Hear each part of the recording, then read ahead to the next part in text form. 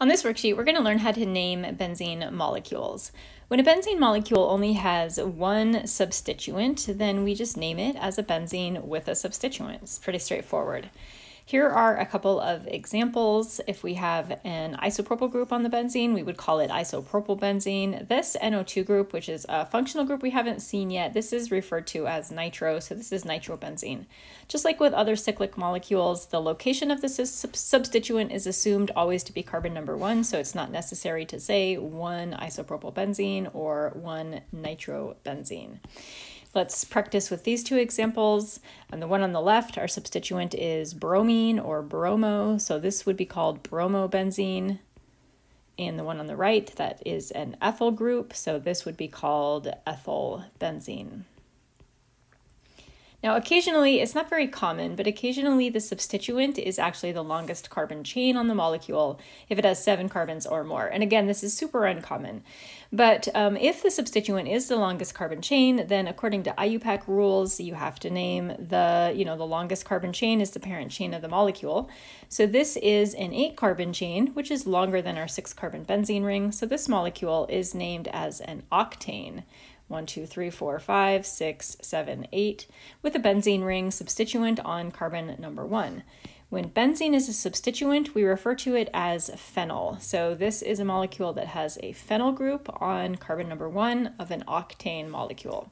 Here's an example for us to try.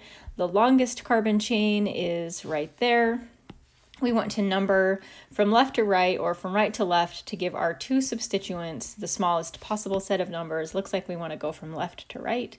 So our substituents are on carbons 3 and 4. Uh, carbon number 3 substituent is phenyl. Carbon number 4 is methyl. A, B, C, D, E, F, G, H, I, J, K, L, M comes before P. So this would be 4 methyl, 3 phenyl, and a seven carbon chain is a heptane.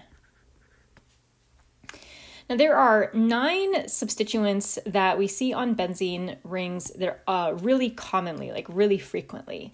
And for these nine substituents, because they are so common and so frequently seen, we uh, have come up with common names for the benzene rings that have these particular nine substituents on them these common names have actually become like IUPAC standard names. So you have to basically, I mean, you have to memorize all of these molecules and their names because they are the IUPAC name of the molecule. So when a benzene ring has just a methyl group on it, the name of the molecule is toluene. When it has an OH group on it, the name of the molecule is phenol not the same as phenyl, phenol. If it has a methoxy group on it, an OCH3, then we name the molecule anisole. An, an NH2 group is aniline, and this specifically has to be two hydrogens. It can't be like nitrogen with some other alkyl group on there. It has to be NH2. We call it aniline. With just a carboxylic acid, a one carbon carboxylic acid, we call that benzoic acid with an aldehyde group is called benzaldehyde. And with a methyl ketone, so a ketone that just has one methyl group on it, we call this acetophenone.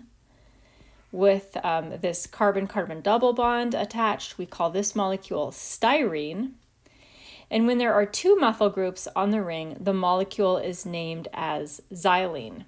The two methyl groups on the ring could be located in any relative position, so this would also be xylene, and this would also be called xylene. Now, it gets a little bit tricky when we have um, two substituents on the molecule, and one of those substituents comes from those nine molecules that I just showed you.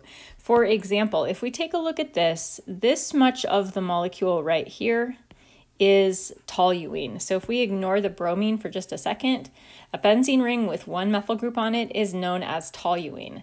When we have a situation like this, we do name the molecule as toluene with a substituent on it, in this case, a bromine substituent.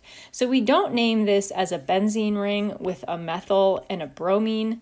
Instead, we name it as a toluene with a bromine. This just gives us a shorter name, usually easier to pronounce, easier to write out, etc. Uh, when we have one of these common substituted benzenes, the position of the key functional group, so in this case, the key functional group is the methyl group, that's what makes this toluene. That carbon is going to be carbon number one by default, and then we number around the ring to give the other substituents the lowest possible set of numbers. So again, um, when we are using those common names of the nine molecules that are on the previous screen, we locate the position of the functional group that dictates that particular common molecule. We locate that as carbon number one. So this molecule is a toluene with a bromine on carbon number two. Uh, we call it 2-bromotoluene. This is, like I said, this is a little bit tricky, so we're going to practice it down here. So first thing that we have to do is find that common molecule. And it's going to be handy while you're learning this to keep these molecules close by so that you can reference these structures. What you want to do is look for these molecules in the molecule that you're trying to name. So, do I have a toluene? Do I have a phenol? Do I have an anisole? What do I actually have present? So in this first example, we have right here a toluene. This is the toluene molecule. And because it's toluene, this methyl group is what makes it toluene. This is carbon number one, and that means we have a substituent on carbon number two. So this molecule's name is 2-ethyl toluene.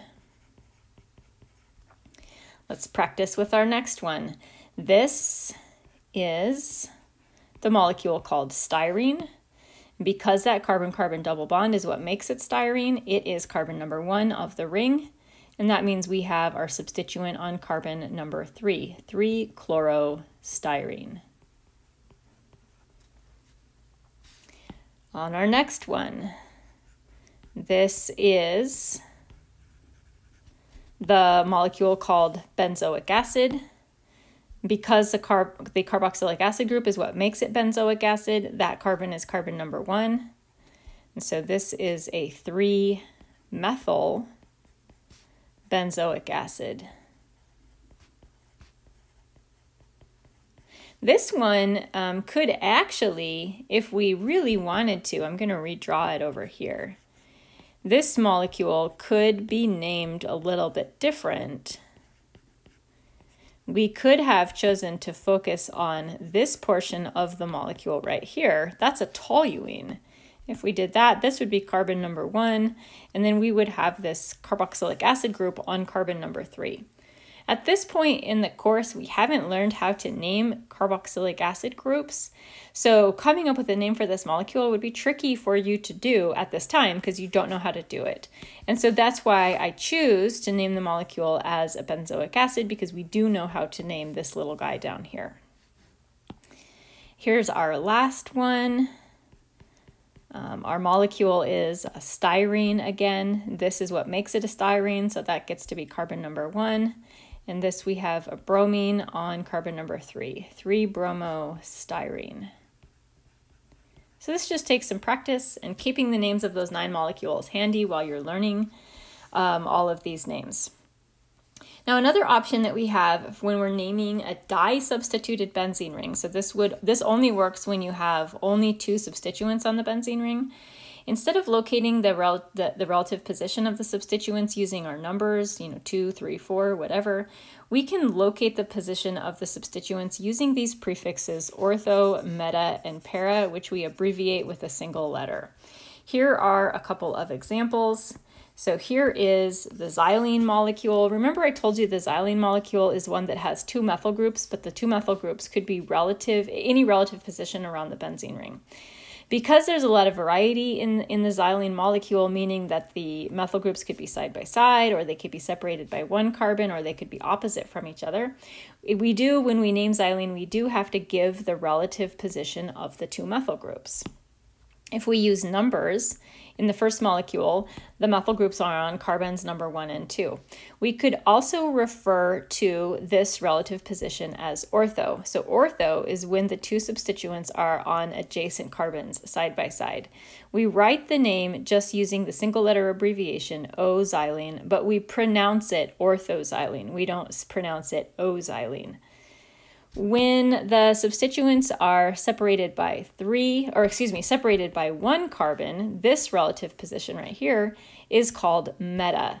So this molecule, we would write its name out, M-xylene, but we would pronounce it meta-xylene, we call this meta. And when the substituents are directly across from each other on the ring, in positions one and four, we call that orientation para. We write just the letter P, but we pronounce it paraxylene. So what we're going to do to practice this ortho meta para notation, we're going to go back up to these molecules and we're going to just identify them as being ortho or meta or para substituted. Again, when your substituents are directly um, on carbons that are directly attached to each other side by side, this relative position we call ortho. We would just use the letter O, but we say ortho ortho ethyl toluene. Ortho is the same thing as a 1,2 disubstituted. This, where our substituents are separated by just one carbon atom, this is meta. We use the letter M, but we pronounce it meta, metachlorostyrene. And again, meta we use when our substituents are on carbons 1 and 3. Um, and I didn't have a lot of variety here. I kind of ran out of creativity. This is also a meta. So this is meta methyl benzoic acid. And this one is also meta, meta bromo styrene. And we'll just make a note over here, even though we don't have any examples. Para is when our substituents are on carbons 1 and 4.